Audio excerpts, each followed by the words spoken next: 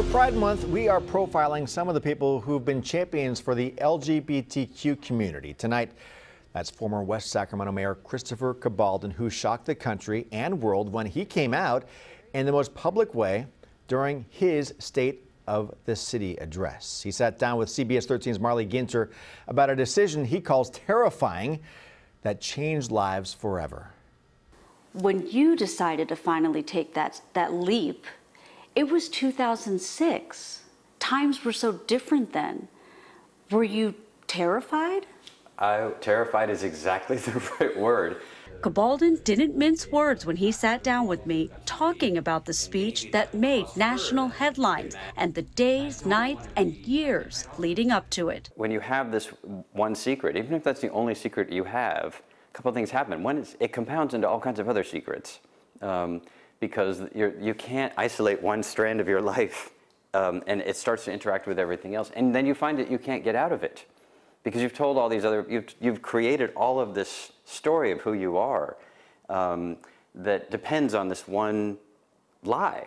Uh, and then, but how do you unravel that without, without unraveling everything else about you too? It was a struggle Cabaldon had learned to live with and deny even to himself. I was still hoping, you know, maybe one more year and I won't be gay anymore. Or maybe this will go away. If I, if I don't tell it to anybody else and I don't say it out loud to myself, maybe it'll go away.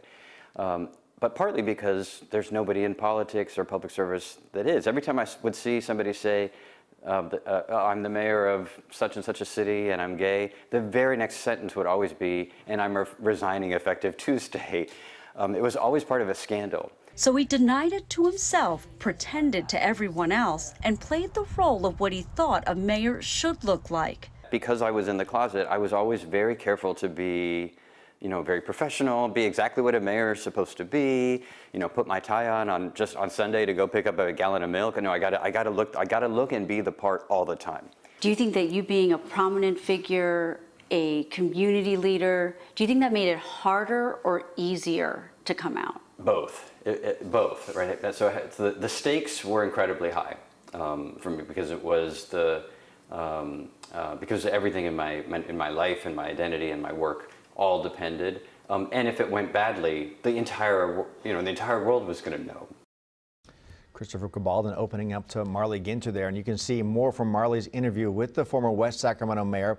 Hear the positive and negative reactions to him coming out and why he says there's still more work to be done to protect the LBGTQ community. That's in our Pride special this week, Friday at 5.30. Interesting account there.